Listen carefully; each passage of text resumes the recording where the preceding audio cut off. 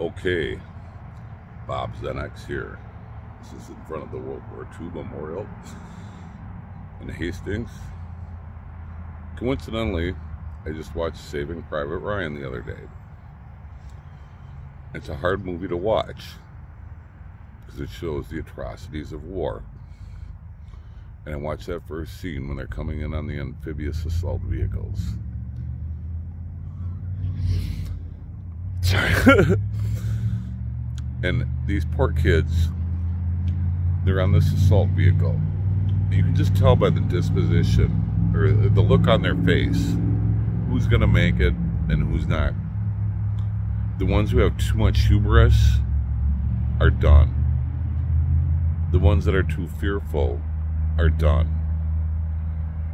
Of course, they're all afraid, but if fear controls you, then it doesn't work.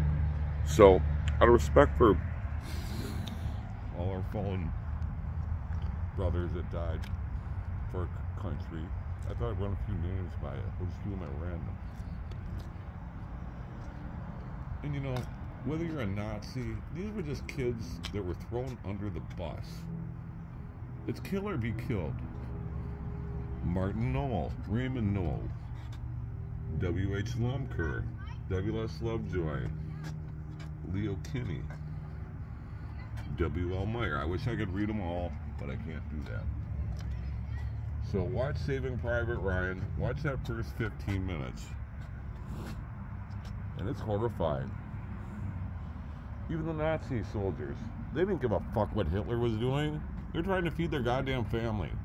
Well, I've been working on my expletives. William Gray, Edward Fry, W.R. Darling.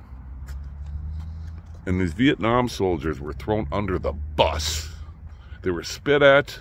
They were treated like crap. So give these POWs the respect they deserve. Poke the like, stroke the subscribe. Bob Zen Peace.